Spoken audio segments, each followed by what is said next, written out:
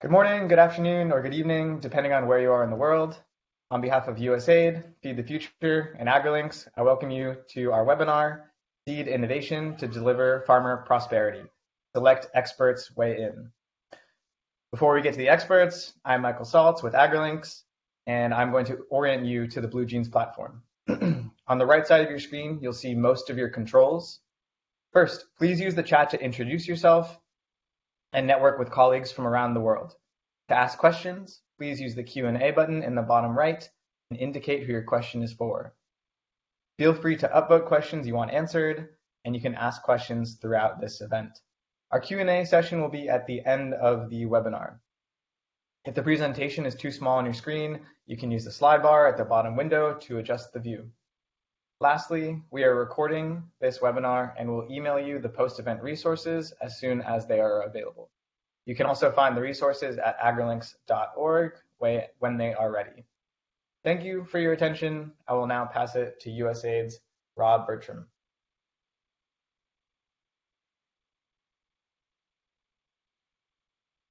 Thank you, Michael, and greetings, everyone. Um, I always love these events because I know we have a global audience and um, grateful also to uh, AgriLinks uh, for um, for the recording of this. So I hope if if you enjoy it, you feel free to share it with your the link with colleagues who might be interested. So we're going to focus on a, a very uh, important topic today, and it's it's not a new one for AgriLinks, but it's one that is of continuing importance that we keep in mind and we keep seeking to up our game and um, it's all, all, about seed and how seed gets into the hands of farmers and into their fields in ways that uh, really create gains. And I think just to briefly remind us that seed is an area where it's always been important. With climate change, it's more important than ever. That's not just about abiotic stress, things like heat or drought, which very importantly, are being worked on by scientists, and farmers are already benefiting from many of those innovations through seed, but also biotic stresses. Uh, we know that pests and diseases are moving in places they haven't been before, in part due to climate. Think of the outbreaks of, say, wheat blast in, in, in Bangladesh and, and, and things like that. So there's many examples.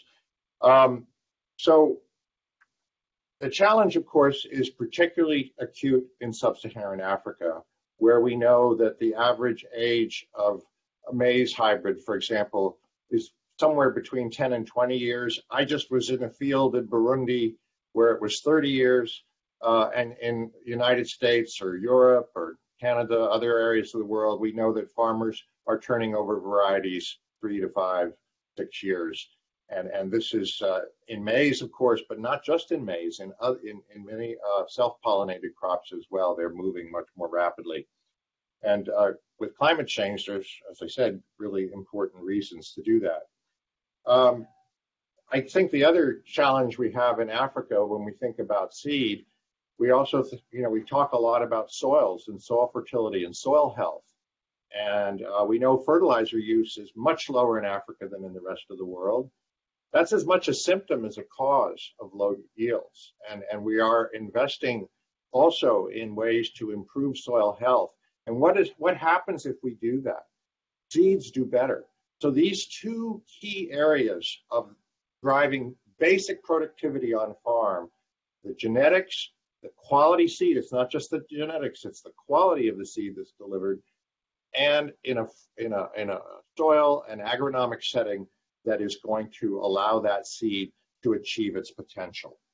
Um, so this is a, a, job, really job number one in many ways, and, and many of our missions are doubling down on this. Um, we, um, we know that public investment remains very important, and we've done a lot of work. Uh, my colleague Mark Huisenga might be on the line today, but uh, Mark has worked for years with colleagues that show to do work that show the combination of the public and private sectors being important in different ways for different crops. We've also worked hard at USAID with our missions and our and both bilateral and regional missions and many uh, partners on the policy side in countries and at the regional level to harmonize uh, seed rules around certification, seed trade in ways that incentivize investment and also uh, accelerate the rate at which farmers can actually access new varieties because of fewer hurdles to jump country by country. And this is particularly important in Africa. We have a lot of countries that with similar agroecologies where farmers can benefit across, say, a whole farming system. So many cases now, one country will recognize a variety approved in another. Um, so again, just a last reminder before we finish up here, why is getting seed and fertilizer for soil fertility and health, uh, soil health and agronomy right? Because uh, the uh, what we've seen in the past two decades in Africa is that three-fourths of the growth came from extensification, that is just farming more land. That is neither poverty reducing nor is it environmentally sustainable. And especially when we think about contexts where there's woodlands or forests or hills, uh, hillsides and such that are, are fragile environments and that are also very important for biodiversity of all kinds and for environmental services. So in the agriculture sector, farm sector, we need to do our job to uh, enable farmers to get more from less, less land, maybe less water, less fertilizer, even by virtue of greater fertilizer use efficiency, water use efficiency, et cetera. So um, we have many partners in this. Our missions are the uh, innovation labs, CGIAR, AGRA, uh, and of course all kinds of last mile partners and, and, and other uh, uh donor partners in regional and uh, international actors. And of course, most importantly, the countries, our partner countries themselves. So today we are joined by David Wainaina, Aggie Konde, and Tony Gatungu. Uh, I'm going to introduce all three of them now, and then I'll then we'll hand it over first to David. David Wainaina is program manager for Context Global Development and has 18 years of experience working across many countries in sub-Saharan Africa.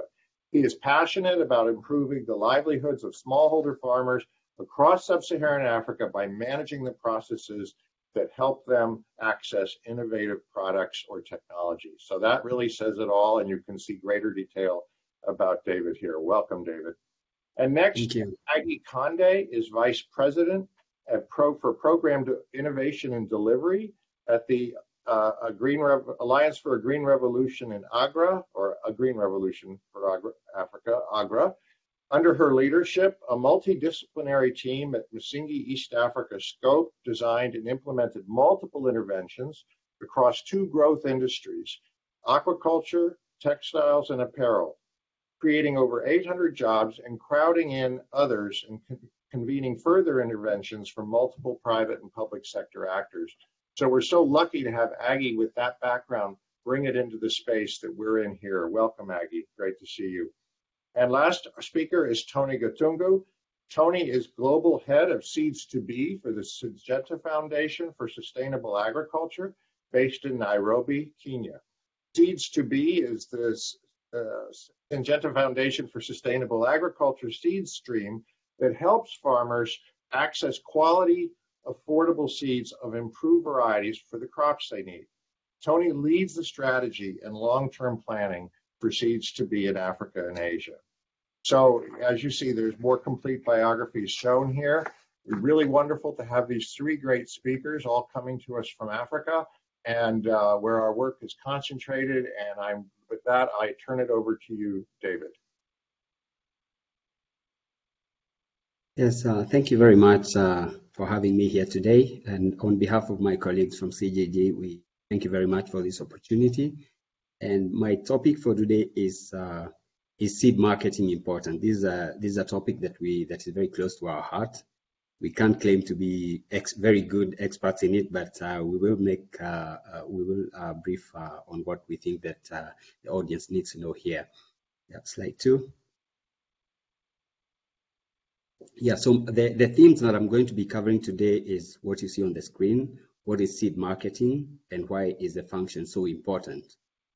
what are the current capability gaps, and where do seed companies uh, fall short, and what can they do better. Next slide. So uh, the topic for today is, of course, um, seed marketing, but uh, for the audience here that may not be uh, marketing experts, I'll try to, to, to, to, define it in a way that, uh, that is simple to understand. So as you can see on the screen, it's marketing is a strategy you use for getting your ideal target prospect to know you, like you, trust you, enough to become a customer. Here the keyword is ideal target because in marketing you cannot be everything to every, everything to everyone. So the, the, the keyword here, ideal target, is a theme that I'm going to keep bringing.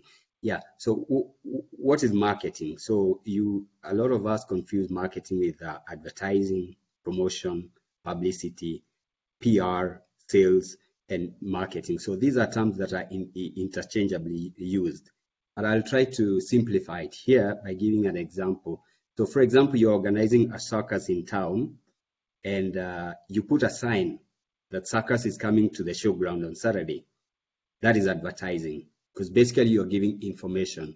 And if you put the sign on the back of an elephant and have it walk through into town, that's promotion because what, what you will be doing is not every day we see elephants in town, but you are going to be attracting you're going to attract the, the, the, the attention, uh, the people to, to read your message. And if this elephant walks through the mayor's flower bed, it's not a very nice thing to do, and the local newspapers write about it, that is publicity. Because now you've got the attention of, of, of, of, of the mayor. If the mayor gets to laugh about it, and uh, the newspapers have written about this, that's public relations. Because now this is about image. So in marketing, there's uh, the, the, the PR is also very important because it has to do with the with uh, with the image. And further to that, if the town citizens go to the circus, you show them that many entertainment booths, and you explain to them that they're going to have fun by spending money at the booths. You answer their questions, and ultimately they spend uh, a lot, a lot of money in the circus. That is sales. So because you've got them to take action and if this whole thing was, was planned, that is what you call marketing. So basically, it's planning your advertising, your promotion, your public, uh, your publicity, and your public relations and sales. So that is what that is actually marketing. Slide four, please. So, so what is seed uh, marketing and why is it so important? So seed marketing is getting farmers to perceive the value of your product that and that this they, they should perceive that the value of the products you're proposing meets their needs and you motivate them to purchase and plant them. And so here we are talking of specific farmers. So because it's not all farmers that you can meet their needs. So you choose you choose the segment of the farmers that you you you want to serve. You get them to perceive the value of your product and they feel that you're going to meet their, their needs and they purchase your seeds and, and plant them. We know all uh, breeding programs exist uh, only to provide high quality seed for, for marketing. So why is it important? Uh, seed marketing is important because, uh, like the, the points are on, on the screen here, uh, they ensure improved varietal adoption and turnover. And here, when we say turnover, we mean the replacement of new uh, new varieties replacing the old ones. That's what we call turnover. And what, what this does is that it helps national yields to go up, farmers' livelihoods are improved, food security is enhanced, and seed marketing also contributes to the Sustainable Development Goal number two, to end hunger, achieve food security, improve nutrition, and promote sustainable agriculture. So when seed marketing is successfully uh, implemented, farmer prosperity is, is almost guaranteed. Today's, today's uh, webinar is about uh, farmer prosperity. So seed marketing is, is very much uh, important when we are talking of uh, uh, guaranteeing food uh, farmer prosperity. And in the African context, food security is also greatly uh, correlated with the peace. We've seen that countries that are able to feed their population are generally much quite peaceful than the other countries. So you can see seed marketing is, is very important, not just for, for the farmer, but for the nation. Slide five, please. Slide five. Yeah. So um, talking of seed marketing and why it's important, it, it's not just enough to talk uh, of the importance of seed marketing, but I would also like to highlight what the capabilities for uh, seed marketing, a good, a good demand creator uh, should, should be. So the, what you see on the screen is the, the capabilities that we believe uh, form what good seed marketing is. So in the customer insight, here we are trying to ask ourselves, what are, who are those specific farmers that we can serve? And what are their specific pain points? Yeah, because if we identify the pain points of the specific farmers we are trying to, to solve, to serve, then we will be able to do, uh, to, to serve them better. For example, uh, if we look at Eastern Africa, what is really happening? Climate change is becoming a big issue. So all farmers here are facing uh, drought, uh, issues of uh, water. So it's very important for seed marketers to actually get close to them, understand what their, their challenges are, and these varieties that they should be breeding should be addressing this issue.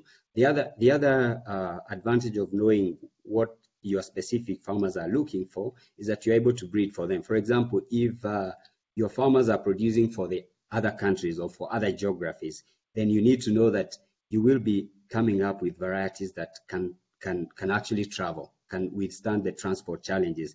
And you only get to know this if you're very close to the farmer, getting to know what they, they are looking for. So customer insight uh, gathering should be continuous because farmers make decisions several times in the life of their crop decision points are throughout the, the farming. So the, the seed marketers should actually almost live with the farmers. And the cycle for, for, for me, it's, it's farmer, breeder, farmer. It, it, we mostly think it's a breeder to farmer, but it should be farmer, breeder to farmer, eh, because that is what completes the loop. Now, product positioning, this is where we, we talk of the value that we are proposing to the farmer. So again, going back to the pain points they are having, for example, in East Africa with the drought situation, uh, the products that we should be proposing to them are the ones that, uh, so the, the features and benefits that we are proposing to them, do they address these specific uh, challenges that they are fa facing? So that is what you call the product positioning, how your features give them benefits. The other capability is on um, MARCOM, Marketing and Communication Strategy. So this is where you ask yourself, what are the most effective ways of connecting with the targeted prospect? Here we talk of branding, pricing, promotion, creative uh, development. So again, the goal here is how you get the farmers share of mind and heart, because that's the only way they are going to get uh, attracted to your variety. That's the only way they will take action. That's the only way they are going to take up these newer varieties. So and this is the only way that we're going to, to see uh, new variety adoption and turnover. So what is commercial execution? So it, it's it's one of the capa important capabilities be before you again go back to customer insight. So here you ask yourself, how do we fulfill our business objectives through actions in the field? Talk of uh, field, uh, after sales services, uh, sales channel training, territory planning, village level engagement. Uh, and here you, you, you also you look at how do you use champion farmers. The farmers who have adopted your varieties quite early should become your uh, champions because we, we know farmers. They, they, they tend to trust other farmers more than they try, trust the seed marketers. So if seed marketers are able to win champion farmers and have, having addressed their needs, then seed marketing becomes a, a strong capability because then you get farmer test, uh, testimonials. After knowing what the capabilities are, so one of the other theme that uh, I have to address is how are the companies doing and what are the gaps? Next slide, please. So in answering this question, CGD did a, a, a market research across Africa in the East, Central, and uh, West Africa. And we interviewed uh, several com uh, companies, mid-sized companies, and we had responses from executives, uh, 23 executives from notable SME companies who participated in the questions that were around ma- these marketing capabilities on two things what they thought were very important and how they thought they were performing. So I'm, I'm happy to present to you some of the, the findings that we had in the, in the next slide, please.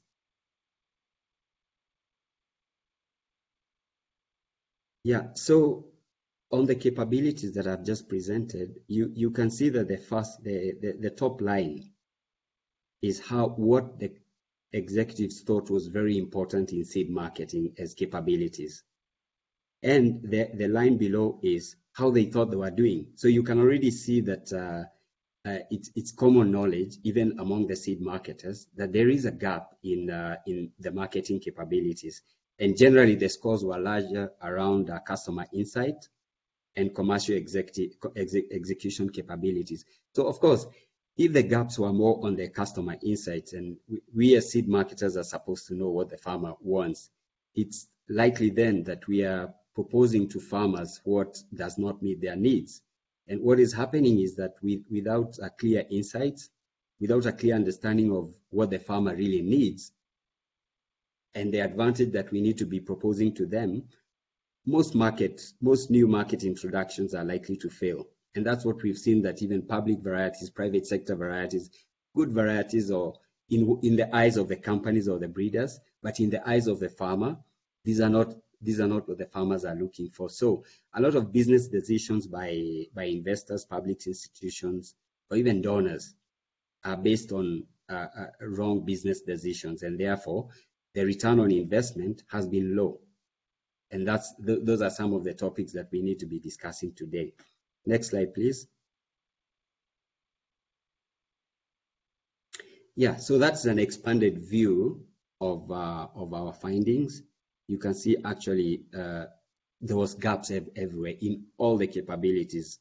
Uh, seed marketers do agree that they are, they, they are not uh, they are not meeting the capabilities that are that are required. Next slide. Yeah, so what needs to be addressed? Uh, I think we can say by looking at the gaps, uh, the stakeholders can actually look at the, the key gaps where they're, they're, they're falling short and look at the strengths that they have and make the improvements in that specific area. However, uh, what, what we can say is that investing more in cu more customer insight could lead to more diversification, adoption, and turnover because we are meeting the customer needs. So here, seed marketers need to be, very close with the farmer, understand what the farmers are, and it's throughout. It's not a one-time event. It's, it's basically the field people who are supposed to be uh, getting the parts of the farmer so that then uh, uh, the, this gap is, is reduced. When we talk of more robust promotion strategy, we are talking of tactics to increase uh, product knowledge, visibility, advice on crop management, demand and adoption. And these are demonstration plots, yield contest, field days. So all that is promotion. It gets the attention of the farmers. We need to talk to invest more on uh, on-farm product testing because this is the only way you get to know that you're addressing the farmer pain point. It's, it's not the testing at the research station, but it should be actually on the farm. That way, the, the farmers are able to see what uh, whether this variety is going to give them value. When we talk of uh, commercial execution strategy, it's at the village level engagement, channel and staff training. These are very important uh, links to the farmer. And we all know that when the, the channel, the staff, the field staff are well trained, they are the ones who live with the farmer and they actually are able to, to, to, to present the value that we are proposing to the farmer. The other one is on the data usage. Uh, data is uh, is very important, and uh, what we've seen is that there are new companies coming up that are able to generate data, and this is something that com companies can adopt to to improve uh, this commercial execution. Next slide, please. So uh, some of the best practices that we've seen in the market for companies that uh, tend to do well is the investment in marketing. And uh, we have to also look at how much, for example, is the public sector or the donors investing in, in marketing. So much investment goes into R&D, but not so much goes in marketing. Yet when we look at the best practices, you can see the investment by good marketers, it's at the ratio of one to one or even double or even more and no wonder then these varieties of these companies are able to reach farmers uh, much quicker. So next slide, please. I'm almost coming to the end of the presentation. So the question is, what are we doing about this? Uh, about this uh, to to help feed marketers? So we are coming. We are we are undertaking uh, market research And we will be looking at four uh, marketing innovations on how, and we will be generating evidence on how these influence farmers to uptake new varieties. So we'll be looking at varietal information to support purchasing decisions by farmers. We'll be looking at social marketing and basically how does it influence new farmers. Varietal information is basically sharing the the, the, the, the, information that breeders have come up with to the farmer and see does it have an impact just sharing the information social marketing is general uh, ad advertisement for example, newer is better, getting them to, to know that they are newer seeds and how does it influence. Point of sale is the interventions at the agri level. So we will also be researching that. And the final one is digital marketing, SMS, WhatsApp, Instagram. How does it influence the farmers? So we will be doing this research and we will be coming back to you in, in a while. Next slide, please. Yes, that's the la last last slide. And we, through the research that we shall be doing, we are looking at de-risking marketing invest, investments so that marketing managers can eh, can at least be sure of where to invest. And we we are hoping that we'll be able to answer these hard questions, and we will be back to you. So we ask you to to stay tuned. Thank you very much. Thank you, David. And once again, it's just so gratifying to see the work that Context has done, continues to do to help uh, move this whole sector forward. Very illuminating. Well, I'm going to turn it now to our next speaker, Aggie Konde at AGRA. Over to you, Aggie. Thank you very much, Rob. I hope uh, you can all hear me loud and clear. Excited to be joining you uh, on this call.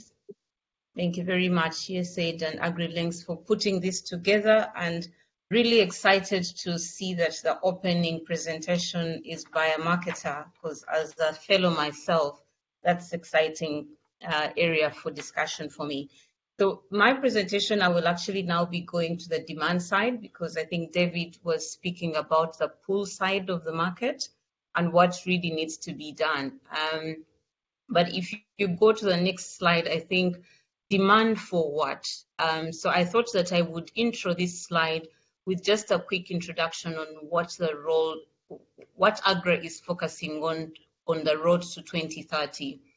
Inclusive agriculture transformation basically means that uh, we are set up to contribute to zero hunger in the countries where we operate, to improved nutrition, we're set up to also support the end of poverty while at the same time addressing climate adaptation.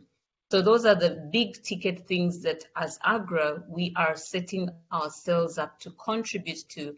And as a result, we believe that we should be able to have inclusive agriculture transformation. And what this means is that you will not, you will not leave anyone behind, and as the economies grow, you're having the whole population at least able to afford one meal a day and uh, one nutritious meal a day, while at the same time protecting the environment in which we operate. So I think that's basically the, the boundaries within which we operate. And to achieve that, there are three buckets that we focus on. Of course, the first and foremost one is to empower and build resilience. As you probably all know, we support smallholder farmers, and to David's presentation, empowerment means you're giving smallholder farmers the choice. And with marketing, what that then means is that you're giving varieties, you're increasing choice for farmers. Then they make a decision whether they want to go for an improved seed or not. And when that happens, we then believe that with markets which are pulling based on the on the marketing that David has spoken about, then they should be able to get a good price at the right time and then be able to increase the better their livelihood. And all of that cannot happen, of course, without a capable state. And therefore, those are the three pillars in which AGRA operates. And to do that, our ambition is to reach at least 25 million smallholder farmers and we will be working across 15 countries directly, but that doesn't mean that's where we stop because if our models are tested and proven, they can always cross beyond the 15 countries in which we are. And that then increases adoption and practices using a public-private sector partnership model. So for the next slide, I wanted to, you know, uh, take the audience a bit back uh, to try and understand why the role of seed is critical. Um, let me put the first caveat. Seed is not the only, it's not a magic word. It is one of many, first and foremost. But what we have learned from other economies that have revolutionized through agriculture is that if you've got a functional and efficient seed system, you're able to take at least a 20 to 30% improvement in productivity. And that then can translate into yield. So if you look at the numbers that David was sharing, the adoption of that seed is sitting way below 20%. And that means that the majority of smallholder farmers are actually using non-improved varieties, right?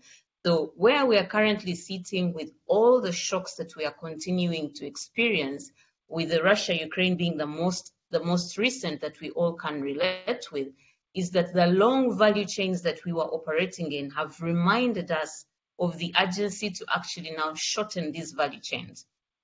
What does that mean? It means that we must be able to produce our seed locally. It means that we must be able to have all our inputs locally. It therefore means we must have a vibrant private public sector that allows businesses to thrive while at the same time increasing access for seed at the right time, in the right quantities, at the right price, and obviously with variety. So uh, that then said, um, the other beauty that we are seeing, which we're actually now calling kind of like a magic word, with climate change, we are now very sure that some seed varieties can actually respond to the malnutrition challenge and the climate change challenge. What do we mean by that? If you look at mal the malnutrition numbers that are sitting way above 20% in most countries, they are seed varieties that offer provitamin A, for example, in maize. We're seeing iron-rich beans. We're seeing vitamin A in cassava, in rice, in potatoes. So all of these are crops that we eat on a normal. We used to eat when I was growing up, but they're no longer, you know, you know, widely consumed in homesteads nowadays. But these are direct solutions to malnutrition, number one. But two, some of what we are calling either the forgotten crops or whatever, like sorghum and millets, are ready, they can be able to, uh, to take the heat that we are having with the climate change issues. So seed therefore plays a very, very key role, not just in the immediate past, but also in the immediate present, in that it is resilient and can be able to absorb the current shocks we're seeing. So next slide. So moving on, um, now I wanted to just give you a quick sneak peek into the state of play of the seed sector in the last 10, in the last decade. Um, as AGRA, through the support of USAID and other donors, we have been in the seed sector. I think we call it our most mature body of work at AGRA. And what has that done? Uh, in the peak of marketing, I could call it if you use Porter's model, we have actually seen the liberalization of the seed sector in all the countries that we operate. And what that means is that government is letting go of managing or micromanaging the sector and allowing seed companies to come in. And why is that important? That is important because government generally is not an enterprise. It doesn't do well doing business. So government's core role in most of the transformation journeys we've seen is to really regulate, to regulate the sector, to ensure it puts in the right policies, because you can't be the judge and the jury in most of these cases. You must be able to play a core role. And therefore, you know, in as recent as, as uh, countries like Malawi, and I think we're still having a few challenges in countries like Mozambique, but we're seeing broadly governments letting go of the seed sector and allowing other actors to come in play, which is increasing choice for the farmers. So if you remember, the more choice the farmer has, the more the prices come down, the quality improves, sector becomes competitive, and therefore, you know, it becomes cheaper for the smallholder farmer. And therefore, we've also seen barriers of entry lowered. What do I mean? In the most recent past, we used to only have multinationals operating in this sector. Right now, we are proud to say as, as AGRA, with the support of our donors, that we've supported over 110 seed companies, local seed companies. Yes, they have gotten challenges along the way, but we've seen a majority of them grow to actually become even regional players. We are seeing most of them, you know, like in Tanzania and and and uh, and Ghana and Nigeria, become second players, third players in terms of market share command. So this is very good because then you're building capacities in country, you're nuancing the seed in, to address the challenges that are specific to the local areas in which we operate. And it therefore means that we are not handing over our seed uh, our, our seed integrity to foreign companies. So if we're having shocks like we had with COVID, you're very sure that you can be able to produce your seed in the region and locally. And what that has then done is that it has, of course, increased seed production. As you will see in some of the numbers that will follow, it has also improved access to quality seed. It has reduced uh, counterfeit seed. We've seen in some countries like Nigeria, counterfeit seed reducing by as much as 34%. 34%, meaning the farmer is able to get a quality seed, which wasn't the case in the past. And then obviously the what we call speed to market in terms of from the development of the variety to the release has also shortened.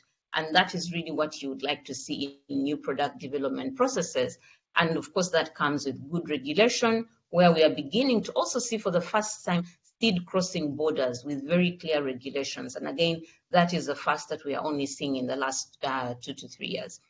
From a policy front, um, I must say one of the things that we are super proud uh, of contributing to is um, obviously uh, early generation seed production, which has increased significantly, uh, both in terms of quality and quantity and capacity. It still has challenges, but you know it's a, it's a, it's it's you know Rome was never built in overnight. And the other most important one is actually um, PPB, where we are able to now be able to uh, control, you know, the, the rights, the rights of that variety, and then you can be able to make sure that uh, the plant breeders' rights are respected, and uh, that allows actually seed companies to come into the market, you know, because then you're rewarding the innovators, you're rewarding the scientists to actually think ahead of the curve and address the challenges of the farmer. Next slide. All right, so just a quick um, AGRA in the most in the last year, we we embarked on a journey to actually do a seed start assessment. We have actually done this for 11 countries now, and I will be walking you through uh, the next slide to show you what each of those parameters are. But what I would love to show you on this slide is really that none of the seed systems across the six countries is anywhere close to 80. If you look at the blue bar, probably the Kenya, Kenya has got some high numbers around quality assurance. But if you see NPC, which is national coordination, it is the lowest across. And the learnings that we have had is that if you don't solve for all of the, the subcomponents of a system, it doesn't matter how well one score is one area will totally pull down the performance of the whole system. And what that then means, it means that you're disadvantaging the smallholder farmer, who in this case is actually the consumer of the seed system. But I'll show you what each of those abbreviations means in the next slide because I have got, if you go to the next slide, I've got a good pictorial to just give you a sneak peek into Kenya. So the abbreviations you're seeing on the slide below, uh, this chart pretty much shows you the weaknesses in each of the systems in Kenya. We've mapped about eight subsystems across, and the area that is the weakest link, they say we are as strong as our weakest link, is national planning and coordination. So what does this mean? You all know that Kenya is a devolved function. So if there is no national and county planning, then efforts in one county will be watered down by another even though you've got very good policies or you've got, you know, improving early generation seed, if you do not have very good scores in farmer awareness and perception, then everything really goes to, to waste. So this is why we are now taking a full systems approach as opposed to looking at just one bottleneck, because we believe that it is in solving the totality of the system that you get to have a functional system that then delivers the productivity that we are looking for and the livelihoods that we are looking for. Another quick example that I wanted to show us is around Ghana on the next slide. Also assessed across the same parameters, uh, but now in this case, Ghana, as you can see, its weakest link is more around also national planning, but also quality assurance. So what does that mean? Quality assurance means that you've not, you don't have, you only have 40% guarantee that the quality of the seed that is going to the farmer can only be 40% pure. And that is why it is very important to make sure that the, the, government has the role to regulate so that we are protecting the smallholder farmer from accessing poor quality seed. And the same can apply on each of these. So as AGRA, we obviously do not um, support each of the components, but what we do is we work with other partners in the ecosystem to come and work with us in the geographies where we are, so that in totality we are offering a suite of services that addresses all the issues that can then help us build a functional seed system. So if we go to the next slide, I will then be able to uh, just quickly walk you through the opportunities. Um, as the presenter, the earlier presenter David did show, the seed market is still extremely virgin. I think we we, we call it, uh, you know, in marketing that it is just really at the growth curve, pretty much on the product life cycle. And it's got lots of opportunities because just about 30% of seed in the best case is being adopted. And I'm talking about, you know, quality seed. So it means that 70% of smallholder farmers are still using their homegrown, their recycling seed, right? And that then resonates with where we are at with food security. Because if we were able to increase the uptake of quality seed, I did mention earlier that it already gives you a guaranteed 20 to 30% uplift in volume or productivity, then we shouldn't have a hungry country. Ideally, and of course we all know that, uh, you know, not all factors, you know, ceteris paribus, right? So weak NARS, National agriculture research institutions is still a challenge. We all know from the CAADP mandate that countries are supposed to invest at least 1.5% of their national budgets into R&D.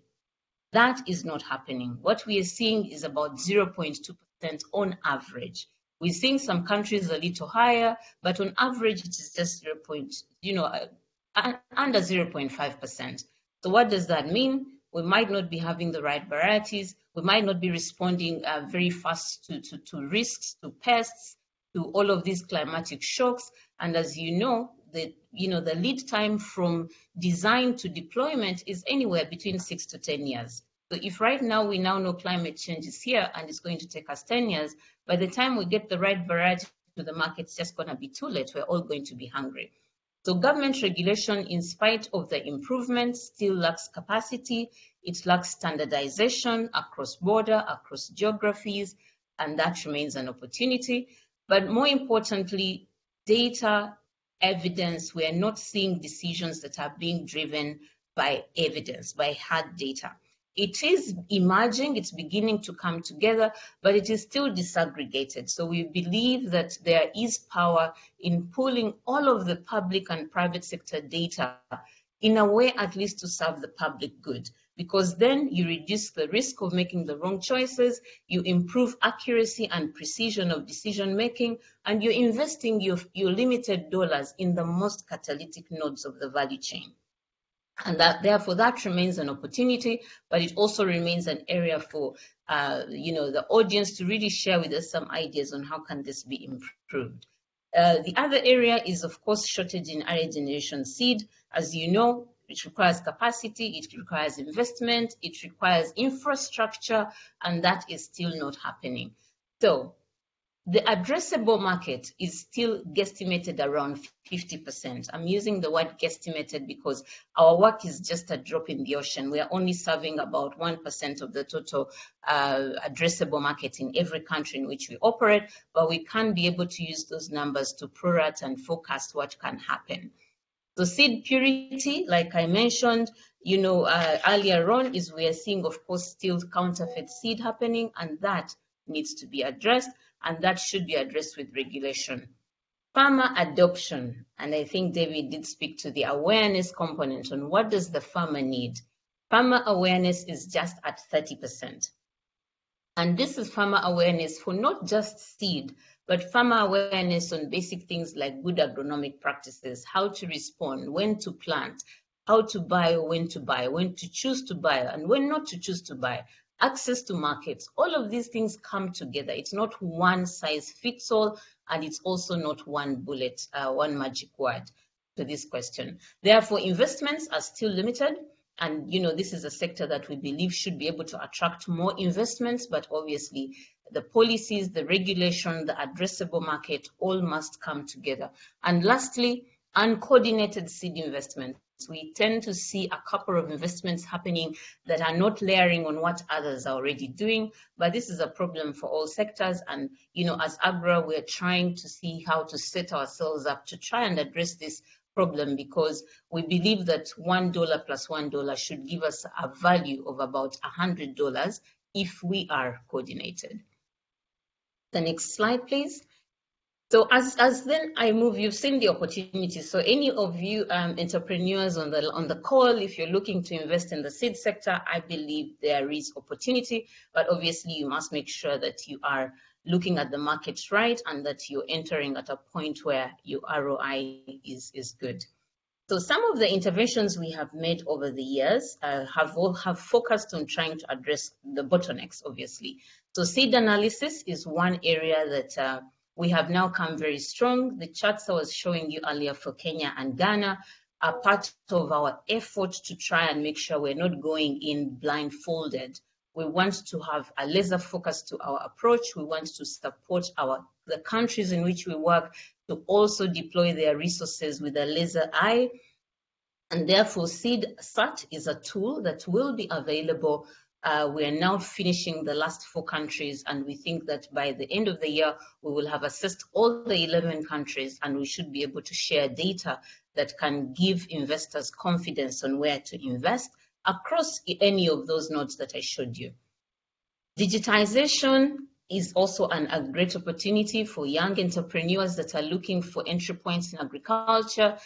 As I mentioned, counterfeit seed is a big issue, and we need solutions around that. There's good efforts. In, as you know, we introduced, uh, we supported gov some governments like in Kenya and Nigeria around the scratch cards on seed packs, I think in Uganda as well. Um, and we are seeing great, great, uh, great returns on those investments. So those are models that can easily be scaled. Early generation seed, like I mentioned earlier, is still, you know, a no-brainer. We require a lot of partnerships, both in public and, and private sector. And then policy reforms is a continuous process. You you cannot you cannot say that you reform and you know keep there. We have to evolve. We have to be able to listen to all the key stakeholders. We've got to be able to ensure that the policies are responding to farmer needs and it's not, you know, an urban city setup. So we're the reason why we are pushing for data and digitization is to make sure that the policymakers have visibility on what's happening at the farm level so that the policies are actually responding to a, to a pain point and they're you know not uh, just uplifted. Case in point that we're uh, again proud of malawi just recently as you know for the first time passed a seed law that was you know a, lo a long time coming. Mozambique is still using seed acts. So we still have quite a bit but uh, in some countries we are seeing great progress. Then lastly is farm, farmer awareness that continues to be a problem. As you all know, the ratios between our extension service to farmer is averaging about, for every one extension officer, they are seeing about 7,500 farmers. That's crazy. Like you cannot be able to reach them adequately on time and respond to all the challenges they have. So that remains an area of opportunity. So as I draw to an end, I think I have two more slides. Uh, let's go to the next. I'll try and move super fast. I know there's still one more. Um, what, what does it take to build a thriving seed industry? I did mention, I think I've mentioned all of these and I don't need to repeat them. So regulation, farmer awareness, market as a pull factor, resilience. It cannot be monocropping. You know, the, the farmer must be able to absorb shock as and when it happens. And as we've learned, there are so many shocks that the farmer is receiving at the moment, and the yields are still very low. So all of the issues around seed, around land management, around water, around soil, around, you know, all of those must be addressed. And that's why, you know, farming is a complex conversation and, you know, we must be able to keep that. Then, but capacity, capacity both at public sector and in private institutions. The local SMEs that are in this sector don't have the capacity to hire, you know, crop scientists, to, uh, to hire agronomists, to hire soil scientists. They don't. It's expensive. So we must be able to find different models where the skills can be transferred to the rural areas where this business is happening so that we can get our business models right. And ultimately, we need a competitive sector with competition, you have innovations, you have technologies coming faster, you have prices coming down, you have regulations following growth of the sector. And obviously, as you know, we're in the agriculture sector, we should be able to see the agriculture pie expanding and therefore being able to be a food secure, a food nutritious, secure and resilient sector in agriculture. So I have one slide, I think, to go, not two, hopefully. Um, next slide. Yeah, I think we can, um, okay. So let me speak to this because George and Jen will, will you know, slaughter me if I don't. So most recently, we, we launched the Center of uh, Seed Excellence in Agra. And why did we launch this center?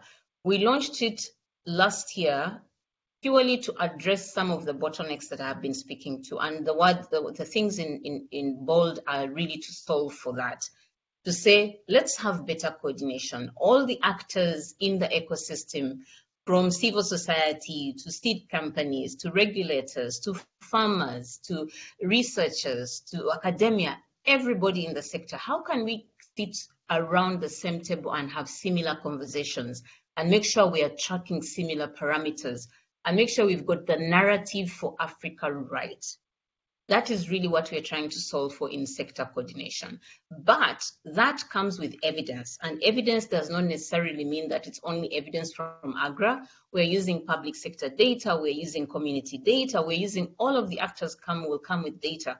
So we can be able to make an informed decision and advise stakeholders or policymakers or investors from the same book. We want to sing from the same hymn book. And then obviously that will then trigger R&D, which will then make sure that business development services are affordable and ensure that the capacities that we need as a continent are resonating to the opportunity that we have so that we stop seeing headlines whereby Africa has the largest land, Africa can feed itself, but it's not. You know, we must be able to do that. Yeah, I can see Europe, come on. So my, my, my, last slide, which is the final, oh. final, I just want to show you that and I don't have to speak to it. Currently, smallholder farmers are only producing an average of 1.5 metric tons. The next slide. The target is to move them to three metric tons. If we got there, any shock that comes to the farmer, whether it's a weed, insect, drought, will not bring them down to below uh, poverty level, which is one metric ton. So all of us should be having one message, see how to do that, intensification, not expansion.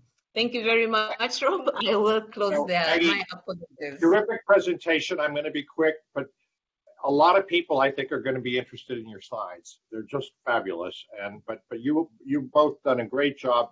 But I, I need to turn it now to Tony Katungu, our third speaker. Thank you. And then we'll have a discussion when Tony is done. Over to you, Tony.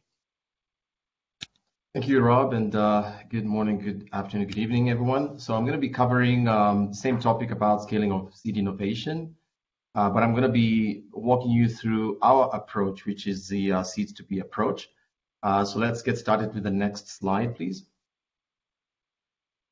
Uh, so for those of you who don't know about the Syngenta Foundation, just a quick snapshot of what we do. Uh, we're all about um, developing or you know, having a brighter future for smaller farmers. We work in about 20 countries globally.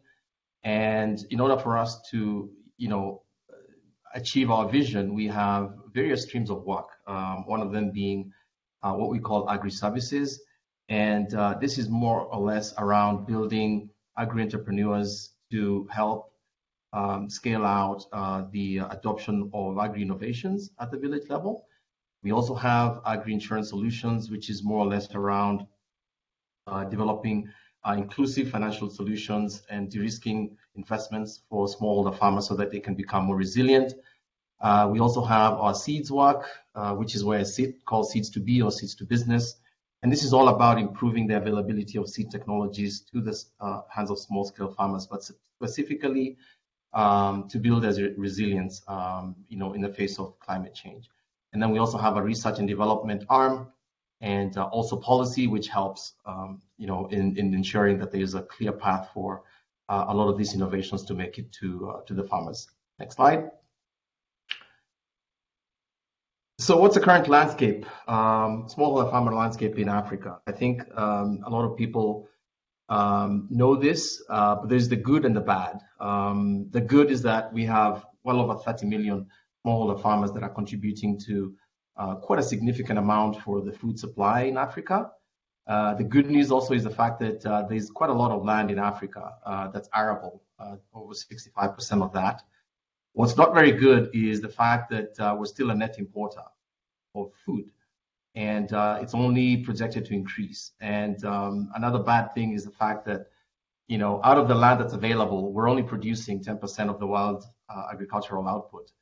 And most recently, what's even worse is that we're actually importing uh, food um, from countries that are at war, uh, which is not a very good thing.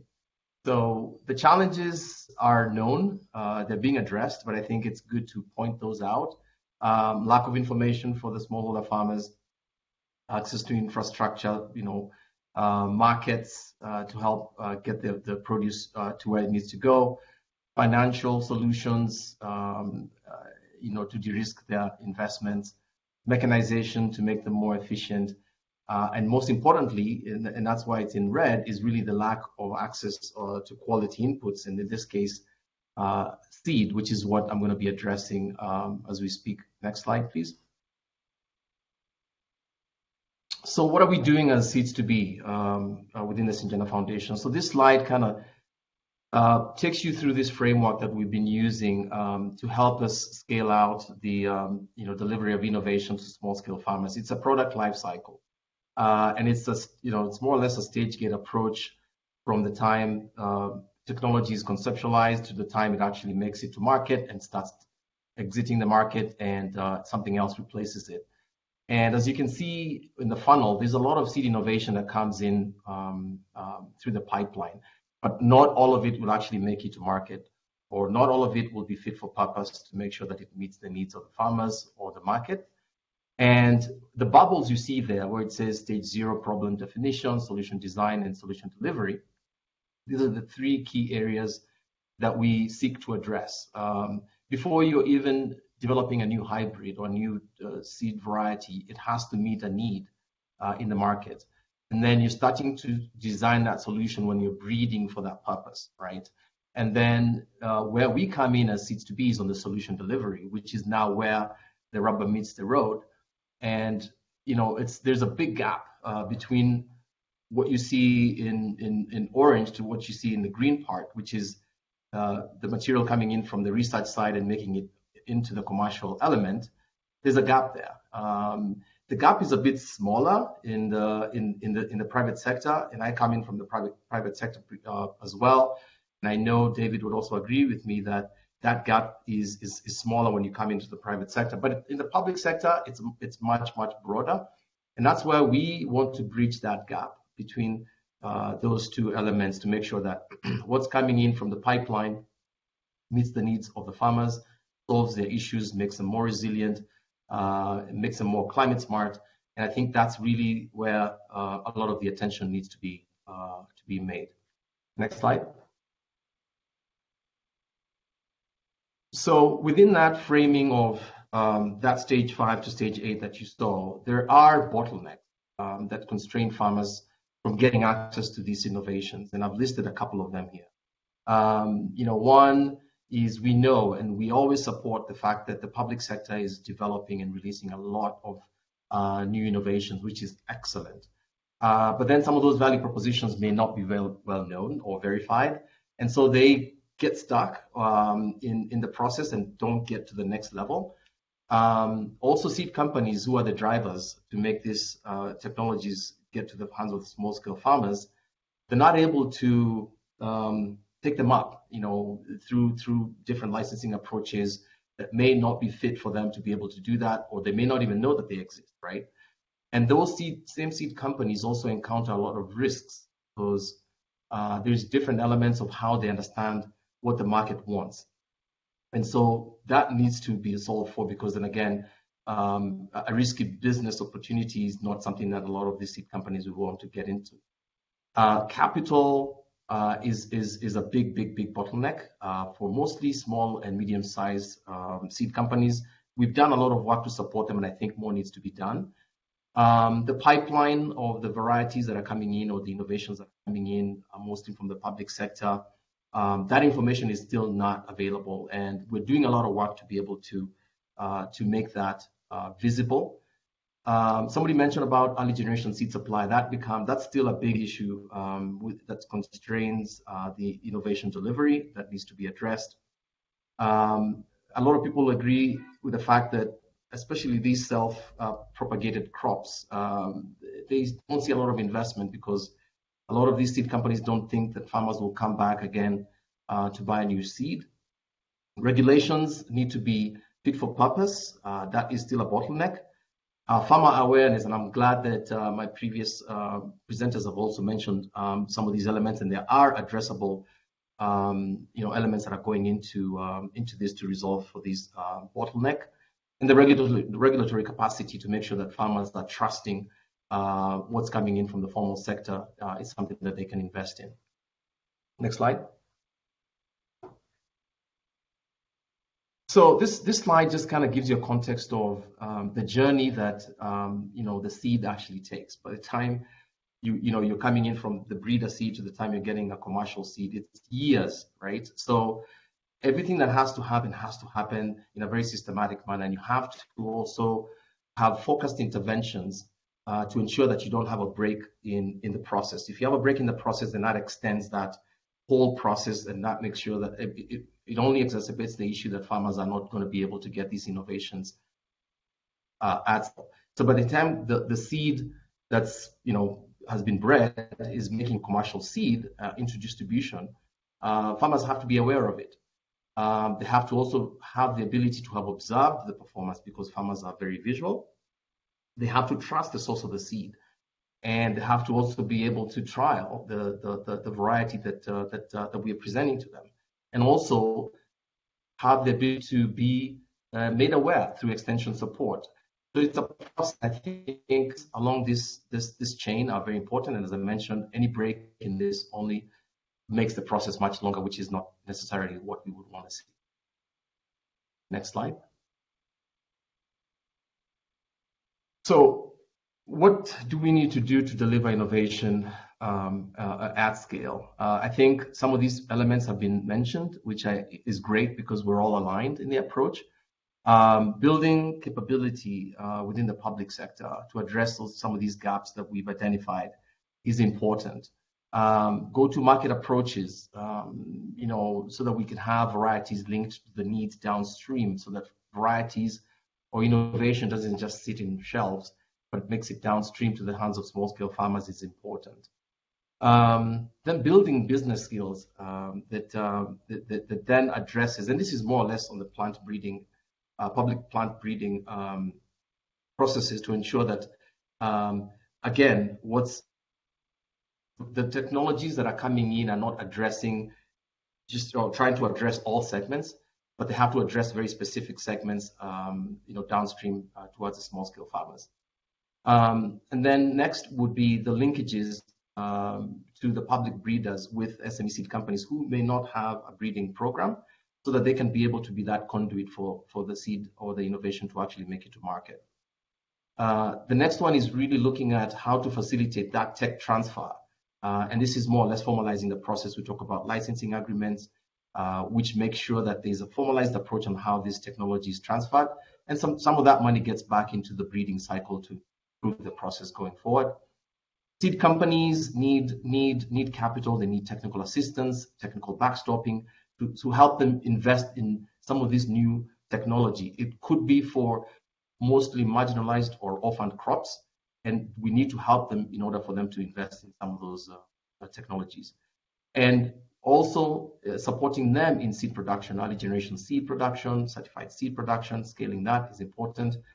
And policy at the national and regional level is also a very key element because if a policy doesn't create an enabling environment, then of course we'll basically be doing injustice to uh, delivering seed innovation to, to more. Next slide.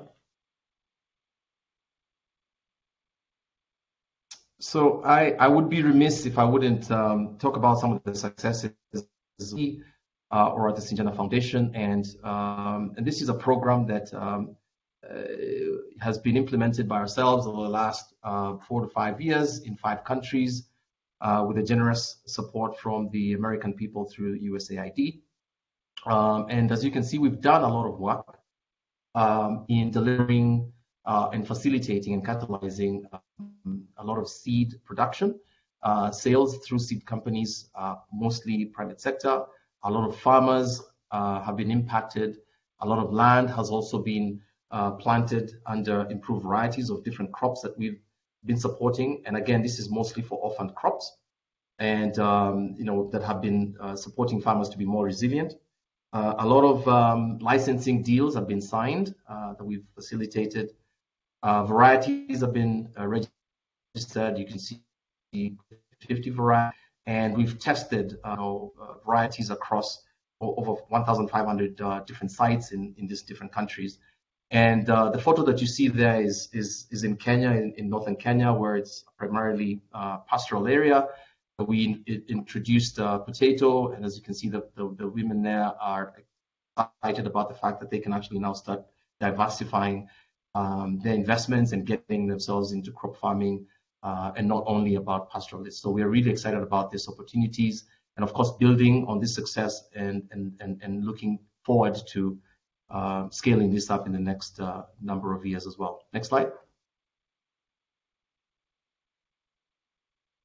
So with that success um, and the approach that we've been taking, we we want to develop our toolkit or a handbook or a guideline that we can then socialize to the industry to ensure that um, you know you know folks, uh, project managers, seed companies, private sector, public sector can be able to take this learnings that we've had, takes uh, you know look at the tools that we've been able to develop, utilize those tools. I've seen on the on some of the Q and A's somebody asking questions about digital tools to uh, enable um, you know farmers get access to seed. Uh, is what we're developing now. It's been in production now for the last uh, couple of years. We're hoping to have that developed, I mean, uh, launched uh, mid of this year. And uh, obviously, this is something that would be very excited to get feedback from a lot of the the stakeholders in the industry and it's going to be a global one. So um, a lot of the folks in this in this forum will be able to get access to. Next slide. So just to give you a, a, a sneak peek of uh, what the what this toolkit will will have, and it'll have all these modules that you can see here. Uh, some of them will be addressing, um, you know, if you're in the uh, pro problem definition phase of your variety commercialization, or you're in your solution delivery phase, you'll have a tool that you can tap into. Uh, and you can see in the middle one here about market segmentation. I remember David had talked about you know marketing. Some of those elements will actually be here. So anybody that's looking to understand more around how they go to market will be glad to see that there's going to be some tools that they can be able to use uh, in this. And this is all going to be completely free uh, for people to, to be able to use. Next slide, which should be my last slide yeah, so this is just my parting thoughts. Um, I think, you know, the commercial seed delivery to small scale farmers, I, I, think still remains a big, big challenge. And I think we're trying to solve for this varietal turnover. I saw in the comments here somebody mentioning about varieties being over 40 years uh, or, or, more. I think that's still a problem. I think we need to address a lot of these elements that I've talked about. Uh, but we still need to look at this through a product life cycle because that's that's where you're able to then identify some of these gaps and develop um, solutions that can be able to then help um, you know diversify the range at which mostly public sector varieties are making it to the hands of small scale farmers, and then we can be able to then improve uh, the varietal turnover uh, through the through the private channels. So it's a call to action. I think we're not going to be able to do this ourselves. I'm glad that Aggie mentioned about the Center of Excellence in Systems within AGRA. Uh, we're looking to partner with with you guys as well, uh, and of course anybody else in this forum. I think we will be able to uh, do this as a as a team uh, and and build these partnerships to de- to be able to deliver innovation at scale and obviously improve the livelihoods of small scale farmers. Over. Thank you so much, Tony, and thank you for, uh, I think you made a little effort to abbreviate a bit. And so we have about 20 minutes now.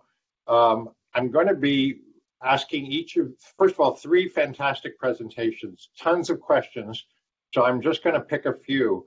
Uh, Thomas Van Morik asked, the Integrated Seed Sector Development Initiative has initiated decentralized certification through a process called Quality Declared Seed. I'm sure many have heard of that that addresses the issue of limited capacity at the national and provincial level to certify seeds and the high cost of certifying seed.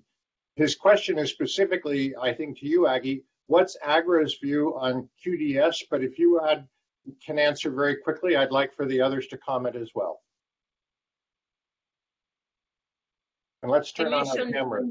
Yeah. Yeah like I mentioned from our SeedSat assessment, uh, quality is one of the key areas of assessment, and uh, certainly it is key. It remains a very critical node. So the issues of capacity for governments, investments are critical. So the key issues we highlight it, and then when partners are coming in, they can then be able to invest in it. So models and wherever that are available are welcome, but it is very critical for the success of the seed sector. The quality declared seed. Yes. Okay, thank you. Uh, Tony or uh, uh, uh, David, anything to add? Yeah, I, I, think it's a very important one. We can't ignore the fact that um, uh, you know farmers are driving more towards the informal seed sector, and how we can formalize this is what's important. And I think QDS provides that framework. And then helping build capacity for those community-based um, producers will be very important. I don't think it's something we can ignore. Excellent. David, anything to add? No, I think I support what my fellow speakers have said. Okay, great. Um, Mark Ireland asked, what do you advise to reduce and gradually eliminate the sale of counterfeit legume seed on the Zambia market? Seed companies have here identified the main sources of counterfeit seed as agro dealers, marketing agents, and informal cross-border imports. So pretty diffuse set of uh, challenges there. Who would like to take a first stab at that? I, I can take that, Rob. Um, I think it's a very important one, and I've I've also worked in Zambia and I've I've seen it firsthand, but it was mostly on maize. Uh, there's a lot of solutions already out there, um, especially around um, this scratch labels um, on certified seed that folks like mPedigree have put out. Uh, that has helped a lot of farmers be able to verify ahead of time. Of course, it costs money, but it also gives them the the, the confidence that what they're buying is is definitely um, uh, you know true certified seed and not counterfeit. Thank you. Anything to add from the others? Yeah, I could quickly add that uh, regulation as well um, and self-regulation. I think the experience we've seen is that self allowing self-regulation as a starting point is critical, and also standardizing uh, standardizing, you know, the classification. It's very easy, especially for porous borders. Then also certifying the agro dealers, because the agro dealers, if they are not certified, then they can't be tracked. Then they can't be, yeah. Okay. Well, yeah, that's. Yeah. I'm sure that's a it's, it's a dicey right one, but yes. Yeah, I think I, I, can also add that there has to be a certain level of harsh willingness by the regulators to to deal with the with the counterfeit issue, because if, if we look at the countries where counterfeit uh, is not a big issue, it's where there is a bit of harshness from the regulators. So uh-huh. we, we, that okay. has to come. Mm.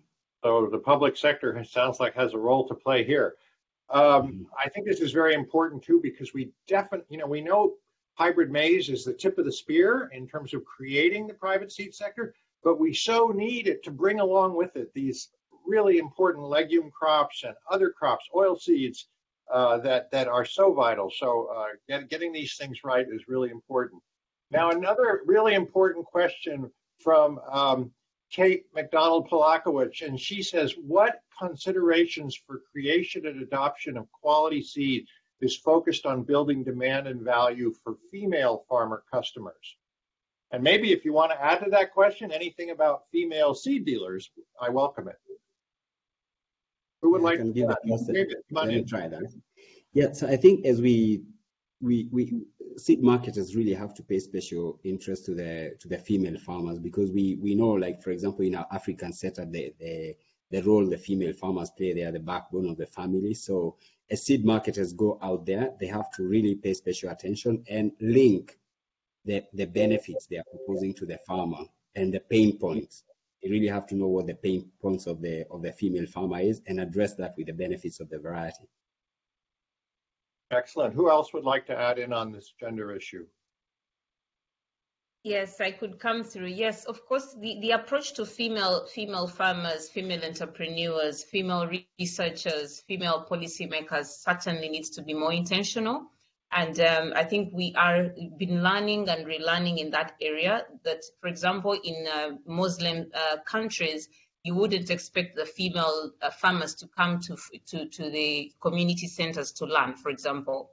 So you've got to be able to have the approaches that are tailored to the local laws and regulations, but, but also the culture nuances of each geographical region. So yes, it's critical that we pull them in, and where we get them, we're actually finding them to be more trusted, and they, they are also trusted by the other parties. So they are one key trust nugget to have in the And system. maybe, and maybe trusted by women, I think, especially. Uh, uh, uh, well. I think this issue of women entrepreneurs in the seed industry, particularly not just in the formal side, but very importantly in the informal side. You know, we did that yellow bean work where we looked at the bean movement through the informal seed sector in the highland countries. And it was uh, fantastic. And a lot of that was mediated through women owned small seed system enterprises. Tony, anything from you on this one? No, just just supporting what uh, what the uh, what my, my co-presenters have actually said. Okay, great. Um, so Meta asked, in countries and regions with a lot of development agencies, all the AID people, look ourselves in the mirror, I wonder how donor money either prevents or supports getting farmers to purchase the seeds without subsidies.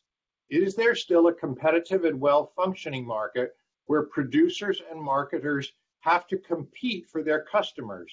I think this is a question about context, and we know there's many different contexts. Who would like to tackle it?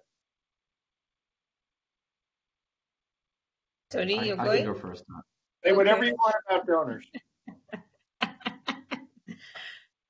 Tony, go.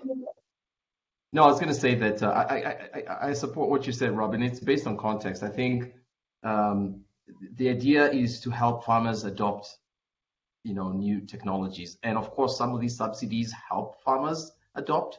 The challenge, of course, becomes at what point are you able to then wean farmers off of the uh, off, off of the subsidy, and are they going to continue um, at the same pace they were, you know, they were on adopting whatever new technologies there were?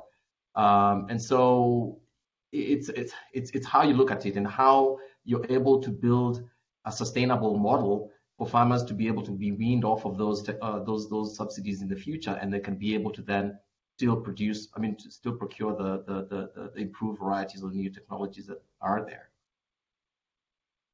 Yeah. Okay.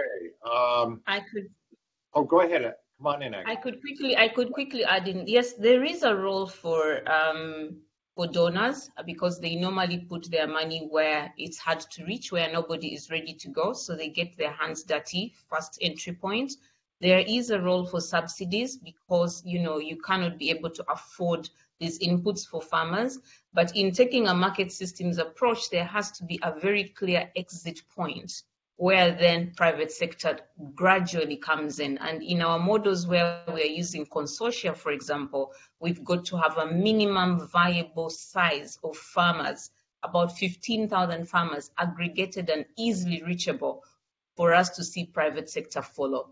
So I think these models are in tandem and it's it's a case of watch and see. It's it's not a, a straight jacket answer. Yes, Thank yes. Dav- David, anything to add on this one? Yeah, I think I can only give a bit of experience is that if you look at the yeah, the donor funding can also be a crippling factor to the farmers' adoption because they keep waiting for the next uh, donor or the next NGO to come. But what I've seen is that uh, the models that, for example, what private sector uh, foundations have, have done, Syngenta Foundation and East West Foundation, is they, they don't provide for free, but they, they do a lot of extension work. So probably that's that's something that uh, the, the donors would look at orienting the funding to more of education and extension work. Yeah. So on that, these are all great comments. On these points, I would say that there's been a tremendous amount of learning, uh, including in the humanitarian community, uh, about not, you know, doing no harm and not undermining systems. And there lots of innovative approaches have been adopted. I'm not saying we have it perfect yet, but um, I think we certainly want to see all our efforts, regardless of who's behind them, to be uh, looking for ways to be sustainably empower local actors, uh, uh, uh sustainably as economically sustainable in this case, uh, to continue the work. Um, so then, um, um, Frederick Bett asked, and this is about the access issue, is access to credit by smallholder farmers, farmers derailing, or is the absence of it, I guess, derailing the uptake of improved and climate smart crop varieties. And why don't you take this as an opportunity to elaborate a bit on what smart smart interventions and if I use the S word, smart subsidies look like? Any one of you. Okay, I could come first. Um, one is um, our what we have seen in the areas where we operate. Actually, smallholder farmers do receive credit, but from agro dealers or hub agro dealers. So as we all know, they are not exactly bankable. So we have, you know, smart options where we de-risk and we've got like an input subsidy whereby they take a percentage, the agro dealer picks a percentage, then the hub agro dealer picks a percentage. So there must be a level of de-risking but 100% getting the smallholder farmers, it is still a long way, a long way to come. And we're seeing that private capital is not following smallholder farmers until, like I mentioned, they reach a certain point where now their business is viable to attract proper uh, commercial capital. But yes, it does derail the adoption. David? Several questions came in about the cost of seeds, so thank you. Uh, uh, David or Tony? Yeah, I think I can also, especially around the de-risking element. Um, that's where I think the most issue is because farmers will not want to invest if if they the risk is too high, and I think those de-risking models are there. Um, farmers, yes, they are not bankable, and they're still a, a very a lot of these financial institutions are very risk averse, and and as such, we have to build models. And again, is it going to be sustainable? But I think the de-risking element is probably what needs to come first. And then, of course, uh, without support, then farmers can then invest more in the new technologies. Hey, uh, David. Yeah, I think I, I can also add that yes, credit is a challenge to the to, to the adoption. We've also seen attempts in some seed systems to incorporate uh, microfinanciers who then come and understand the needs of the farmer. And coupled with that, there's crop insurance that's also coming to remove the risks. So when when when the risk is is less, then the farmer becomes bankable. So it I, I, think for me it's more of a matching this uh, finance and a bit of insurance, if not all. And as critical mass uh, gathers in in the uh, crop insurance, there'll be interesting products that will come and then make the farmer more attractive to the to the funders. Okay, great. Thank you. All great points. So I'm going to try to synthesize a question here about uh, diversification in these systems, and particularly around vegetables, where we know there's so much interest because of economic income opportunities, food system quality, diets, all, all of the benefits we associate, labor, value addition, etc. Um, what's the situation like in Africa around vegetable seed? how much of it is still imported, and are we seeing? Is it coming up, and is it how is how is it fitting into the work that you're all doing? And there, uh, uh Aggie, uh, maybe I'll start with you because uh, there was a specific question about AGRA promoting. Are they promoting vegetables So uh, let's start there, and but I, I think all of you will have insights that we will welcome here. Yeah, yeah, no, uh, we're seeing actually an increase in uptake of vegetable seed. And uh, for those of us that have been to the market and have seen the agro dealer shops, actually, it's literally like a 50 50% in the shops. And what is driving this is really the diversification agenda, but also because we are a rain fed country in most countries, the farmers need to be able to plant more than one. So any profit they get out of one crop, they're able to diversify into something else. It's not just actually vegetables. We're also seeing, you know, poultry, we're seeing dairy as a diversification model uh, as well. And we promote that um, with, our, with our village-based advisors. So that is actually coming up, but still at a very small scale. And maybe David or Tony, you could add to the points about where the seed's being produced. Oh, yes. Is that changing? Yeah, uh, I think well, I can add that, of course. Oh, sorry, sorry, David, go ahead. Yeah, uh, the, the public sector has not done so much in, in vegetable se eh, sector, but I, uh, what we've seen is that companies are now paying special interest in Africa. Uh, the breeding may be happening outside, but uh, now they're very conscious of what the African farmer needs, and there's a lot of interest. We are seeing a lot of product testing, a lot of deployment of field staff, and that is that is filling the gap that uh, that that that has been existing. So farmers are getting more and more choice, but of course, a lot a lot needs to be done. Okay. Yeah, I fully agree with what David said, and I think what's most important is that farmers are seeing that as a as a great opportunity for increasing their in, uh, incomes. Uh, it's high value. Uh, what we're seeing as a gap is that knowledge of how to do it, how to access the seedlings themselves, and I think from our perspective, we're trying to build um, the agri entrepreneur models that I mentioned earlier around these vegetable um, ecosystems, like what we're doing in West Africa and Senegal. Um, you know, building capacity for people to develop, you know, to to to to propagate seedlings and then then able to provide knowledge links, inputs, and farmer, I mean, and market linkages to those same producers, so that it can become a, become a sustainable model for them to to increase their income. But it's it's really really growing. But the breeding is still happening outside of the countries. So just pushing the envelope here. Thank you all for those question answers. Um, what about Aggie? You mentioned dairy. What about forage seed? Is improved forage? We hear a lot about the, the the the gains being made in things like brachiaria, in terms of climate resilience and such. Any any any insights on that? Yeah, I think um, as AGRA, we've we've uh, we've really been piloting a couple of initiatives, you know, in with Kakamega, with tree, tree crops, with uh, forestry, with whatever. So I think there is so much awareness that is coming and responding to the climate shocks that not just ourselves, but the farmers are also finding ways to remain resilient. And I think that is the interesting trend that we are continuing to see. So continuing these conversations and fixing the extension system so that the information is going on time, but is also responding to a market in our view, remains the key bottleneck. But in terms of response, we're seeing a couple of projects that are diversifying into tree crops, into agroforestry, into all of these conversations that are ensuring that we are, you know, treating for the moisture and ensuring the soil content, you know, is is is the right fit. Thank you. I love it because it's farmer choice, farmer yeah, choice, and it's demand driven. Hey, um, there's um, one other thing that I wanted to just ask you about, ah, it was a question on the, the list here. We heard about the counterfeit.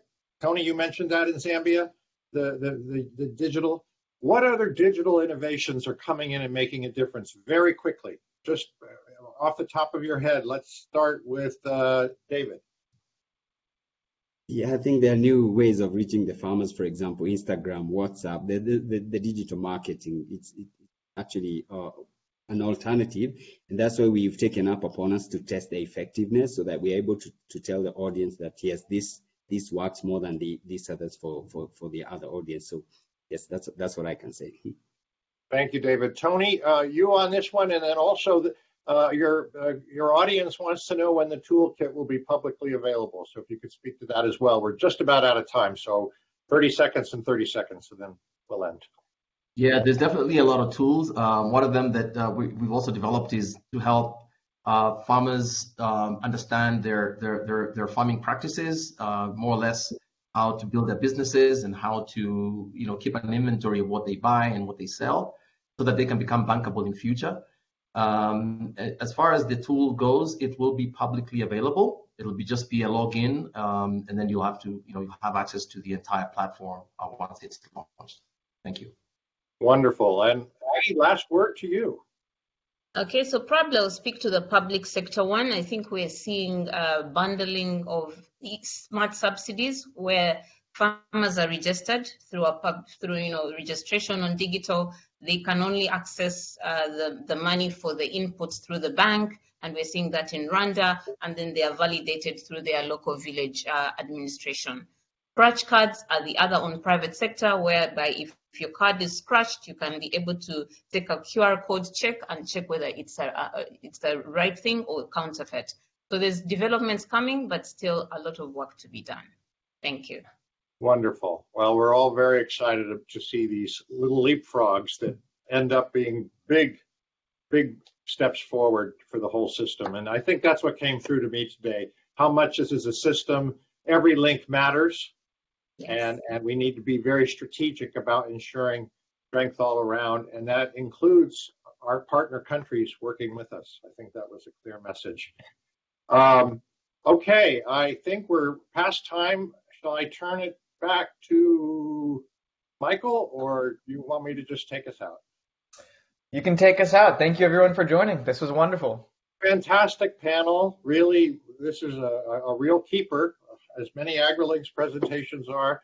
So appreciate all three of you coming today and keep up the good work. And we've got a whole, we had a couple hundred people on the line here who were hanging on every word. So thank you again, and uh, we'll hope to see you again soon uh, for for more on progress in this critical space. Bye, everyone. Thank you very much. Bye, everyone. Thank you. Thank you. Thank you. Bye bye.